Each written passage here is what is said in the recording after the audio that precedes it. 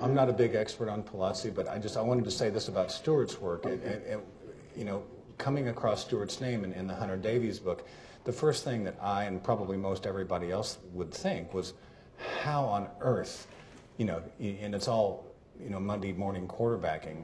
How on earth do you quit the Beatles to like go stand in an attic and make paintings, you know? And um, of course, it's easy to look at this at this now, but two things that are very parallel between Stuart and the Beatles. One is the thing that's always shocking if you do any any um, research on the band at all, or if you know anything about you know their their uh, you know the whole canon, and I'll say canon. You know, it's uh, it's how much good work there was and how quickly it happened, and how much of it happened before they were 24. Mm-hmm. Right. When I look at Stuart's work, um, he lived to what 21, 22 shocking amount of mature work. And um, I just, um, I teach a drawing class at Suffolk Community College, and I just showed them The Lost Beatle the other day, which is a documentary that Pauline is in. And um, they show a lot of his work. And it's just, uh, it's amazing how developed he was. And you can see the passion that he had for his art. It would take something uh, that passionate to get him away. I mean, you know, I'm sure he loved playing with that band, and I, and I know he was crazy about John Lennon. They were best friends he was probably the first real artist that John Lennon met. And, um, uh, but his, his pull to, uh, uh, to get by himself and to try to figure out what his personal vision was, he was totally driven. And, you know, you see people that are 30 or 35 that don't have the depth of, uh, of investigation that his work had when he was 20 or 21. And uh, so the, the, parallel between how much good work happened early, you know, there's a lot of intensity with, with both, you know, Mm-hmm. Well, um, a question I have for both of you, and then maybe we can open things up. What do you think? Sure. Okay.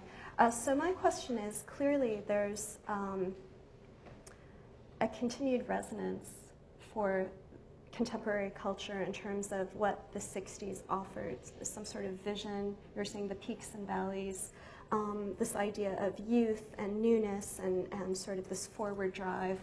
Um, but I have sort of a two-part question here, and one is that was there ever a moment for you during the period itself where you felt this moment of clarity of like, wow, this is a really unique time, special time, or is that something that comes more from retrospection?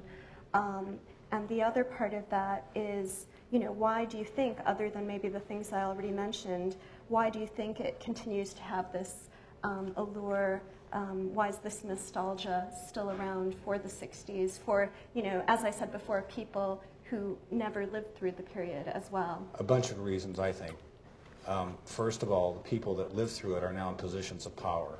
And uh, they're projecting these media images. I just got a catalog in the mail yesterday. It's, it had it's the picture of the Beatles walking through Liverpool, and they're like, you know, 21, restoration hardware. And I'm thinking like, what says, you know, popular music like restoration hardware? But, you know, the, the, the Beatles are, are, well, the, the two that are left, plus Yoko, they're also projecting this sort of thing. There's Beatle Guitar Hero. There's like, you know, they keep rock the rock band. They're, they're, they've remastered these things. You know, they're going to do in another whole remastering within three years at a higher sampling rate. So, I mean, uh, they're even jumping on the Beatles. The Beatles are jumping on the Beatle bandwagon, is what it looks like to me. And um, I, I, also think the 60s, uh, for as crazy as it was, and you know, I saw the 60s as a, as a young teenager, so I'm not a huge expert on it, but it, it um, in terms of, if you look at American car design, for instance, uh, the 50s and 60s, I mean, we were really on top of the game then.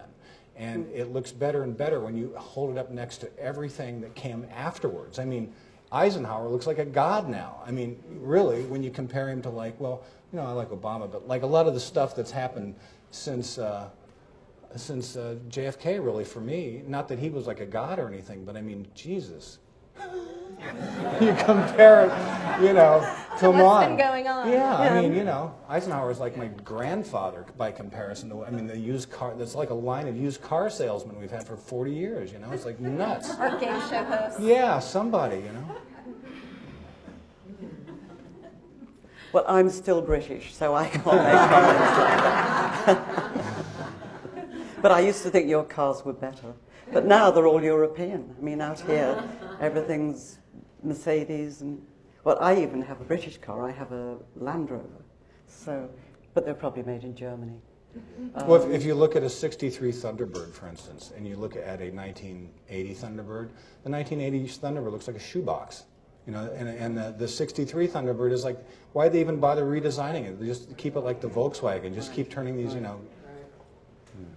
I digress. Ref- references about the 60s? Yeah, just sort of why, why do you think it has a continued presence or resonance in contemporary culture? You know, Christine, if I really knew the answer to that, I'd, it would be the subject of my next book.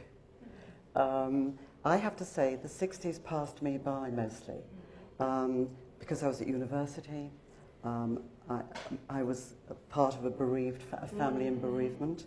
Um, it, it, was a, a, totally strange and unique experience to have uh, for parents to lose a child, um, a growing child. I mean, not a baby in infancy. That was slightly more common. So um, it was sort of heads down and, you know, stay out of danger and stay out of trouble and make sure your parents, at least uh, their, their two remaining children, uh, remain with them whole and healthy and mm. not caught up in any of the madness that was exploding mm. around everybody at that time. So I, I can't account for, because I didn't experience much of it.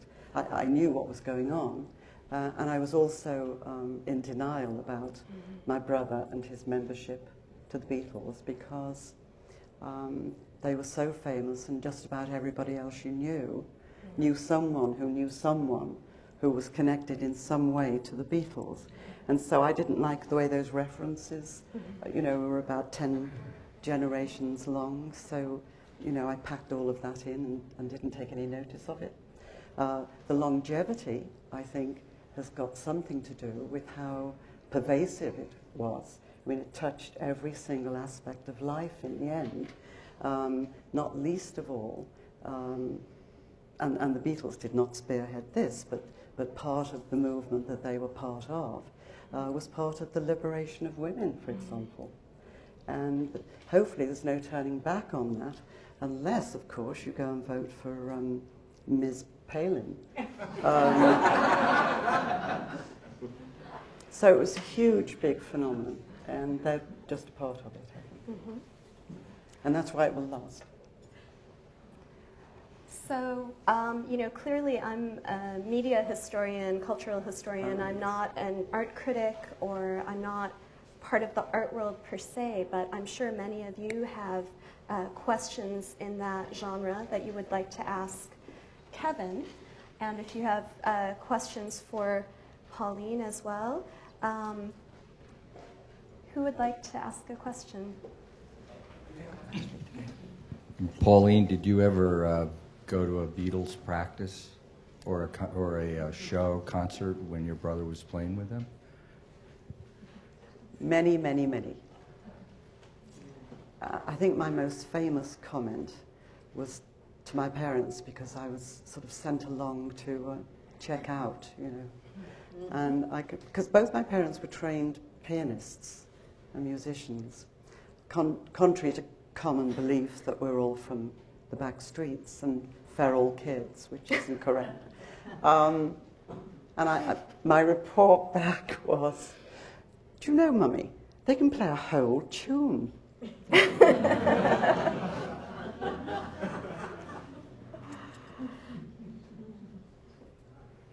I don't have questions so much as thoughts. Um, I was really glad that you talked about the 60s and the darker aspects, you know, because whenever you see anything about Woodstock and everybody's jumping around stoned out of their heads, and I think that wasn't how it was for me.